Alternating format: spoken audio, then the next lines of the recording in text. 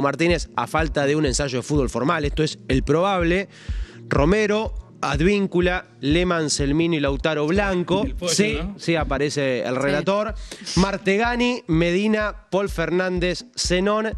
Merentiel y Milton Jiménez es el probable. Algunas cuestiones para definir, ¿no? Eh, si juega Martegani o si incluye un marcador central más, que en este caso sería Marcos Rojo. Sí. Eh, en la fase ofensiva, si juega Milton Jiménez o si juega Cavani, pero está claro que el equipo para el sábado va por ahí. Consulta.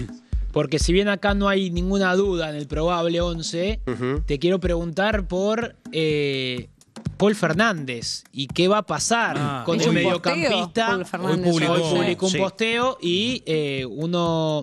A ver, si uno se, se maneja por la lógica de la comisión de Boca, debería estar colgado porque Sí. es el mismo caso que Valentini. Sí.